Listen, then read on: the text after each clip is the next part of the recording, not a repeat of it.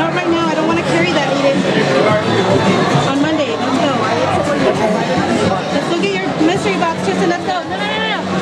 Tristan, let's go get your mystery box.